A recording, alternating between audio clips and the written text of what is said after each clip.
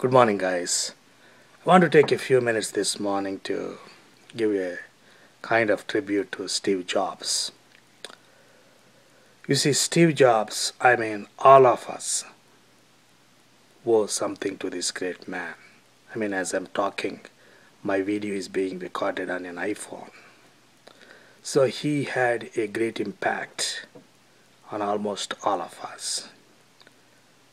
That's why the whole world is paying a tribute to this man. We see flowers in front of Apple stores in California and across the United States. We are seeing flowers in an Apple store in Shanghai, in China, and in Bangalore, in India, and London, all over the world. People are paying tribute, and rightly so. I mean, this man is an exact representative of capitalism, what capitalism does to the world. This man, being a college dropout, believed the power of innovation and added to that hard work. He excelled in his field and he created a company worth $65 billion. That's a great venture, folks. And we are thankful to him for creating that. I mean, in the process, he created thousands, hundreds of thousands of jobs. Remember the article I pencil we read in the economic class that a pencil, a simple pencil, even though it looks simple, it's very complex in its assembly. I mean, the wood, the cedar wood comes from Oregon and refined in Mississippi, and then the rubber, the eraser oil comes from Dutch East Indies colony and it is assembled in China, packaged in some other country, and finally ends up here in the United States. So a simple pencil, he has a global assembly. And how much more about an iPhone or iPad, which is designed in the United States, the parts made in Japan, assembled in China, and come back to United States and to the rest of the world. So that is capitalism when people take an innovative idea and invest in it and then create jobs. That's how capitalism grows. So Steve Jobs is the exact representative of capitalism and free market, the miracle of free market. And I, for, for myself, I came from India with empty hands. I, I didn't have anything. But I went to college here, I studied, I got a good job, and paying taxes to the federal government today. So this is possible in a free market, a globalized economy. But Barack Obama, sadly, is the representative of other polarized thinking that is going on. The thinking that is representative of this crowd which is occupying Wall Street in New York City and our other 150 cities across the United States, this crowd which says that capitalism is the evil, the greedy corporations are the enemy of the state. There should be more taxes, more government to taking care of the needy people. So you see, Barack Obama, I mean, in contrast to Steve Jobs, Barack Obama did not create even a single job in his life. He was a community organizer, then a first time senator, and then the president of the United States of America. His plan to create jobs, bring more money from China. Today, United States has like 16 trillion dollars of debt, and Barack Obama brought more debt than the previous all presidents combined. Believe that, from George Washington to George H. George W. Bush, they bought the debt. Barack Obama alone bought more debt than all of them combined. So, how much debt he is creating? And Barack Obama's plan is to take the money from the rich people and use that money to create jobs.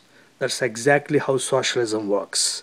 A politician who had no experience in free market takes the money from the rich people and he says, I will create jobs. And Solyndra is the exact representation of that kind of thinking. And Solyndra, it started a few miles from where Steve Jobs started his business. How did Solyndra end up? Solyndra took like a half trillion dollars of federal money and it went bankrupt because it doesn't have an innovative mind. It doesn't have what it takes to compete in the globalized world because it has that big line to US Treasury.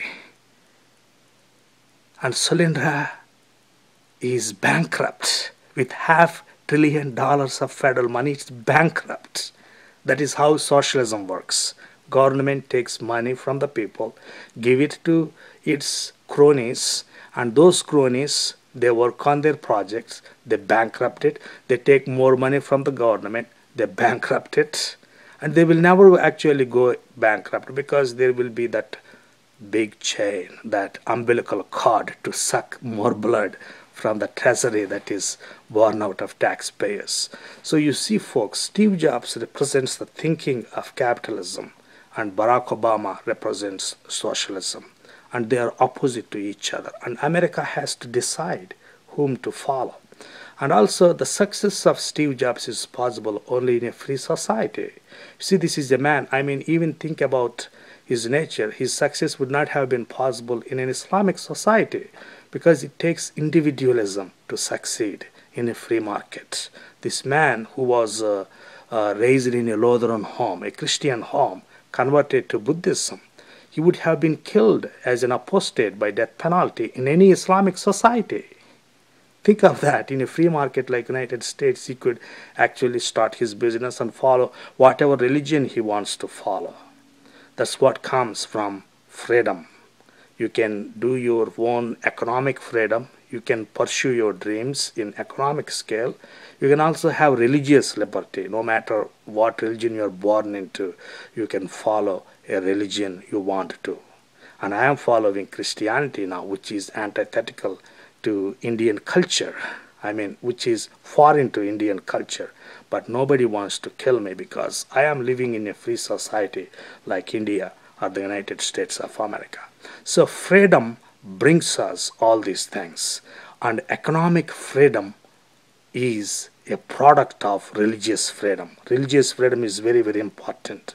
And Martin Luther said, I want to follow my conscience. It's not about who is right here, Pope or Martin Luther but I want to follow my freedom. That is, Protestant Christianity was born. That is when the capitalism could flourish. So, you see, folks, uh, uh, religious freedom is very, very, very, very important. And Steve Jobs is the case to that. And Barack Obama is going exactly opposite to that.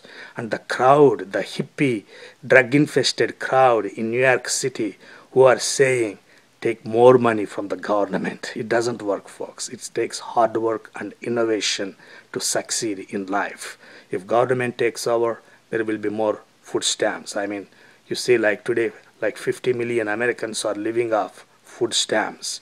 They are being told this big lie: you are entitled, entitled, entitled. So government is saying to half of Americans, you are you have an obligation to pay more, and to the other half it is saying you are entitled. And it is creating this large subclass of dependents. And that is only growing. The poverty is growing. See socialism comes with these bombastic claims of compassion but it spreads misery capitalism even though it looks heartless in the beginning but if you exercise it rightly it creates wealth and people can work and take from that wealth created by capitalism. That's how the prosperity comes. And that's how it is coming now. That's how it is coming in China and in India.